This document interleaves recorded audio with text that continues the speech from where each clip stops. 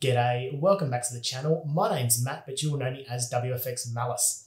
Today I'm bringing you a quick tutorial which has been brought in as a request on how to set up NAT port forwarding for the Asus 5300, also RTAX88 wireless routers. Let's get started.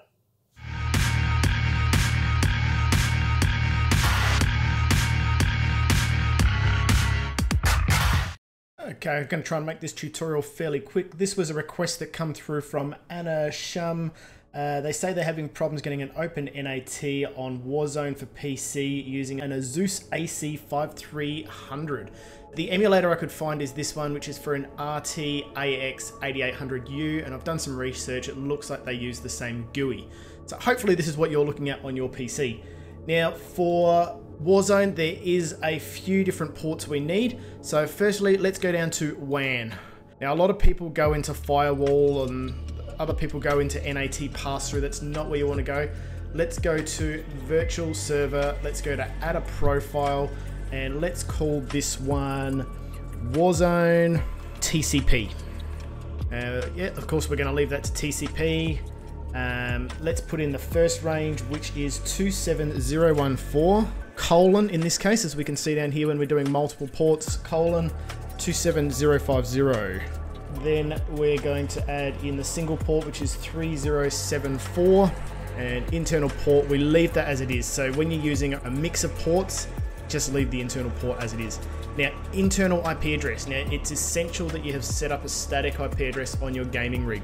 So for this instance, I'm gonna send it to the example I use here on my network, my gaming rig is always 10.0.0.100. It's going to depend on what your local network is. So you, may be using 192.168.0.0 IP range and source IP, we don't need to worry about that. So we're just going to click OK and then we're going to add another profile.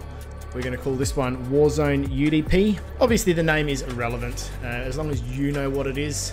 Now this one, there's quite a few ports. So we have two port ranges and a bunch of random ports we could do this a little neater because I'm not sure with this particular router and without a real example to test it on, I'd only be guessing. So I'm going to do this range first and then we're going to do comma 27036 comma 3074 comma 3478 comma 4379 comma 4380 so normally it has that as a range as 4379 to 4380. It's not saving us any keystrokes doing it that way, and I'm not sure how we'd go with two port ranges in the one rule, so I'm all about keeping things nice and neat.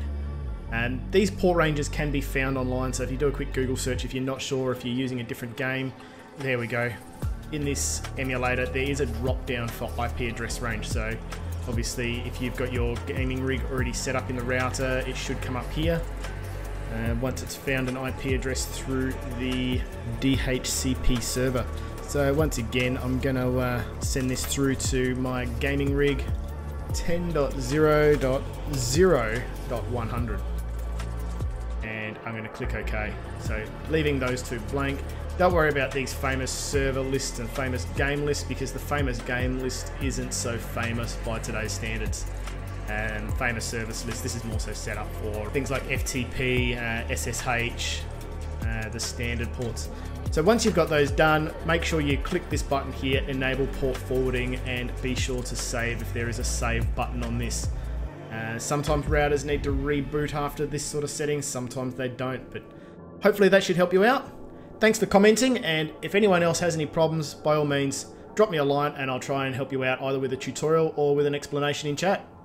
Thanks for watching. See you in the next video.